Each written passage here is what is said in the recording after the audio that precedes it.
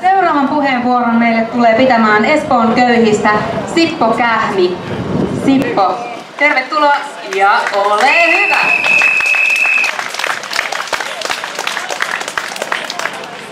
No niin, kiitoksia hyvät ystävät. Mukava nähdä teitä kaikkia täällä aurinkoisena päivänä. Asiani on hieman ikävämpi kuin tämä ympäristö. Olen siis Espoon köyhät ryhmästä. Se on Facebookissa toimiva semmonen osa köyhien liikettä oleva ryhmä ja minä sinne liityin, koska minusta tuli hiljattain köyhä tämän hallituksen politiikan ansiosta. Voi suoraan sanoa, että olen yksi leikkauspolitiikan uhreista. Viime vuonna minulta meni työpaikka kolmannelta sektorilta. En kuitenkaan ollut missään vaiheessa työtön. Minulla oli vielä toinen työpaikka, se vain yksin ei riittänyt toimeen tuloon. Se, mitä sain Kelalta tai työnantajalta, meni suoraan pankille velkojen lyhentämiseen. Elin talven käymällä leipäjonoissa, siellä tutustuin monenlaisiin ihmisiin. Siellä oli yllättävän paljon muita työssä käyviä, työsuhteessa olevia. Muun muassa semmoinen lähihoitaja, jolle hänellä oli työnantajalta nollatuntisopimus. Hän oli ilmeisesti sanonut poikkiteloin jotain. Työnantaja lakkas vaan kutsumasta häntä duuniin. No, hän oli periaatteessa niin kuin duunaria edelleen työsuhteessa, mutta palkka vaan tippui nollaan. Mielenkiintoisia ihmiskohtaloita. Maaliskuussa me päätimme tässä joukkovoimaliikkeen parissa, jossa myös toimin ja olen mukana myös tätä hommaa tänään järjestämässä. Päätimme käydä kysymässä pääministeri Sipilältä tällaisessa Suomi kuntoon tilaisuudessa, että minkälaisen viestin hän lähettäisi tällaisille leipäjonon asiakkaille. No, vastausta emme saaneet, sellainen luvattiin kyllä, mutta poliisipartio kuljetti meidät sitten siitä tilaisuudesta pois ennen kuin se kerättiin kuulla. Ehkä sekin kertoo jostain. No, keväällä jouduin alennushintaan myymään kotiini, jolloin kymmenisen vuotta oli säästänyt omalla työlläni ansaittuja varoja. Voitte kuvitella, että aina kun pääministeri Sipilä julkisuudessa kehuu, että miten työllisyyden lisääminen on hallituksen kärkihanke ja oikein hyvään suuntaan ollaan siinä suhteessa menossa, niin voitte kuvitella, että siinä tekee vähän mieli irvistää. Tänään mulla menee kuitenkin paremmin kaikesta huolimatta. Sain kesäduunin.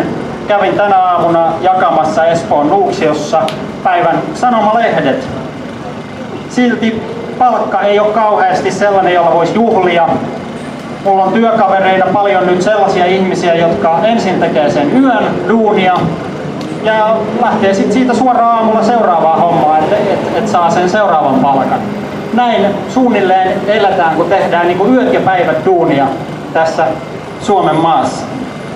Lisäksi erityisesti sanomalehden jakajille kiva juttu on se, että valtion yhtiö Posti on päättänyt ruveta työehtosopimus ää, tällaiseen kiertämiseen, jossa, jossa siis otetaan toisen halvemman tahon niin kuin sopima työehtosopimus ja tälleen taas säästetään ilmeisesti valtioyhtiö on keksinyt hyvän tavan säästää. Sehän on tietysti työssä käyvien köyhien pussista. Mistäpä muualtakaan. Ja se on tietysti sitten aina mukava taas kerran seurata tuolta uutisista, että miten esimerkiksi pääministeri Sipilä jälleen niin on saanut miljoonia kerittyä valtion kassasta omiin taskuihinsa ja samaan aikaan valtionyhtiön duunareilta säästetään. Se se lämmittää mieltä suoraan sanottuna. Se on aina mukavaa. Mukavaa kuulla. No, tämä mielenosoitus sai innotuksensa entisen hallituspuolueen perussuomalaisten tuoreen puheenjohtajan Jussi halla ensimmäisestä linjapuheesta. Siinä hän totesi suoraan, että köyhät on vastakkain, köyhät on asetettava vastakkain, se on luonnollista ja se on oikein Tällähän tarkoitti, että kantasuomalaisten köyhien tulisi potkia päähän muualta tulleita, koska muuten Suomesta nyt kerta kaikkiaan vain loppuvat rahat. Kuitenkin sama mies sanoi aiemmin jo myös suomalaisten sosiaaliturvasta, että se on yhteiskunnalle luksusta, joka maksetaan, jos jaksetaan. Prioriteettina on aseet, virkavalta, tällaiset tärkeät asiat. Ja sama perussuomalaisten puolue leikkasi hallituksessa köyhiltä ja äänesti vaurauden piilottamisen sallivan hallintarekisterin puolesta. Puu, sille minä sanon. Eli nämä samat tyypit, jotka usuttaa julkisissa puheissa köyhiä toistensa kurkkuun, he ovat valmiita viemään kaiken vaan, mikä annetaan ja vähän enemmänkin. He pitävät meitä pilkkanaan tällaisilla puheilla. Ja niitä puheita kuuluu nyt sekä hallituksesta että oppositiosta. Mutta mikä käsittämättömintä, jopa katutasolta. Kannattaisiko siis esimerkiksi minun nyt lehdenjakajana sitten noudattaa heidän ohjeitaan? Kun työehtoja heikennetään, niin lähdenkö kyreilemään sitä, mitä mun, osa mun työkavereista on eri maista, Euroopasta ja Aasiasta ja Afrikasta vai onko se heidän vikansa, että työnantaja päättää polkea mun palkkaa? Vai voisiko olla sittenkin niin, että meidän kannattaa siellä duunipaikalla liittoutua alkuperään katsomatta ja vaatia yhdessä parempaa kohtelua?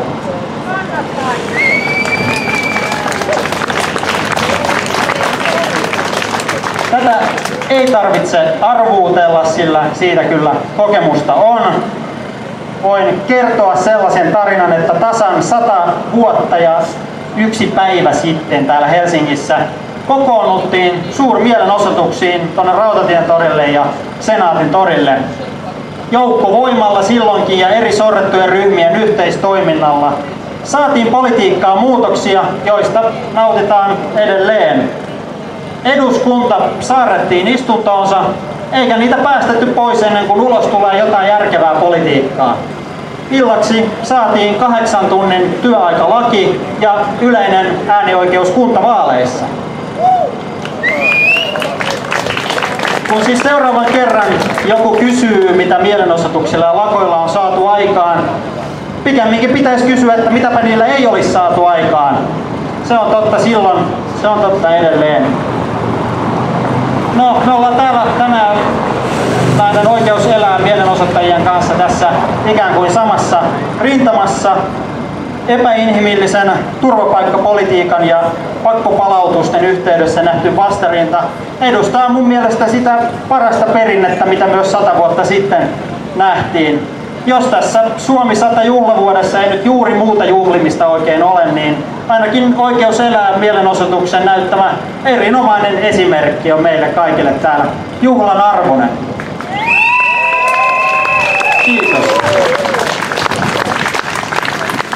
Ja miksi näitä menneitä ja nykyisiä, miksi niitä kannattaa muistella, ei siksi, että ne on kauhean sellaisia kivoja kaskuja, vaan siksi, että ne näyttää esimerkillä, että juuri me, juuri sinä ja juuri minä tänään voidaan myös olla niitä tyyppejä, jotka oikeasti muuttaa tätä politiikkaa jotka nähdessään vääryyttä eivät anna sen tapahtua, jotka kieltäytyvät asettamasta toisiaan vastakkain ja ryhtyvät yhdessä rakentamaan uutta. Aloitetaan siitä, että jokainen meistä lähtee yhdessä tekemään syyskuun toisen päivän joukkovoiman mielenosoituksesta suurinta hallituksen vastaista protestia tähän mennessä. Näytetään, että meillä on joukkoa ja meillä on voimaa. Hallitus ulos!